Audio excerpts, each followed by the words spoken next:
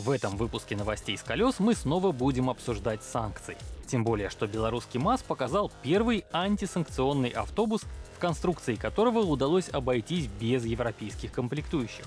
Рецепт оказался прост. Если производство передних осей освоили сами белорусы, то задний портальный мост и шестидиапазонную автоматическую коробку поставила китайская фирма Fastgear. Мотор тоже имеет поднебесное происхождение. Это агрегат Weichai. Отдельно отмечается, что двигатель и автомат собраны на заводах под Минском, так как белорусский автогигант некоторое время назад организовал соответствующие белорусско-китайские совместные предприятия. Цену подобных низкопольников МАЗ пока не называет, но такую технику вовсю предлагают клиентам.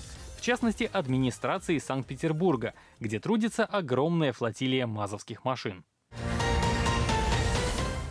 Очевидно, что примерить китайские агрегаты придется и некоторым другим отечественным производителям.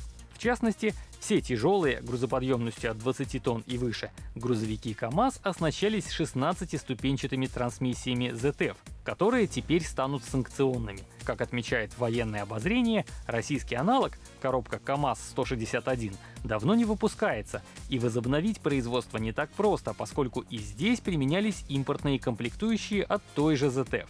Это значит, что разнообразные многоосные шасси и тяжелые тягачи, которые, среди прочих, также закупала российская армия, будет нечем комплектовать. Если, конечно, на помощь не придет Ярославский моторный со своими девятиступками, или Тутаевский завод не запустит 14-скоростную коробку, или же не будет найден временный китайский аналог.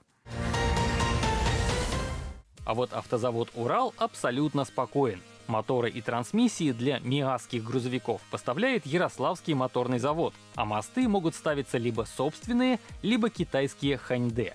Правда, в ближайшее время уральцы планируют сосредоточиться на проверенных временем моделях. Это значит, что основой гаммы вновь станет классический Урал 4320, который этой осенью отметит 45-летний юбилей. Впрочем, некоторое время назад на заводе началась большая модернизация, на которую из бюджета удалось выбить двухмиллиардный займ.